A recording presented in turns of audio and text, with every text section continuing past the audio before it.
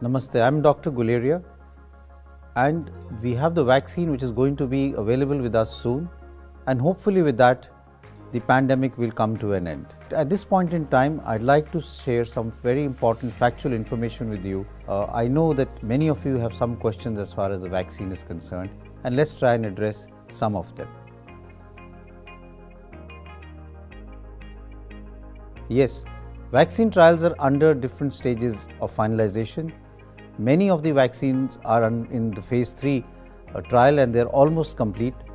So, once regulatory clearances are given by the regulatory authorities, the Government of India is all geared up to launch these vaccines for COVID 19.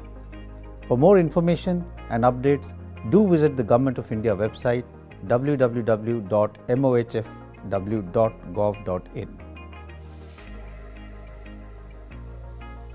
This will depend on the availability of vaccine and the Government of India has selected priority groups who will be vaccinated based on risk factors. The first group will include healthcare workers and frontline workers.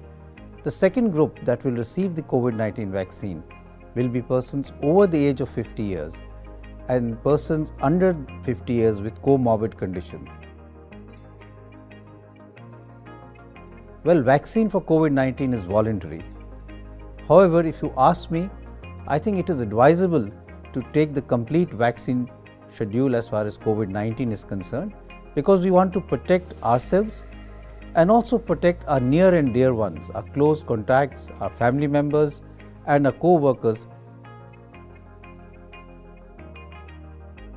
The vaccine will be introduced in the country only after regulatory bodies clear it based on its safety and efficacy. I think safety is the most important factor and all standard precautions as have been followed in the past for giving vaccine approval will be followed as far as this vaccine is concerned. Yes, the COVID-19 vaccine introduced in India will be as effective as any vaccine developed by other countries. So various phases of vaccine trials are undertaken to ensure its safety and efficacy. Thank you Stay safe. The vaccine is around the corner, and I think this is the time that all of us should have COVID appropriate behavior so that we do not fall ill when the vaccine is just around the corner.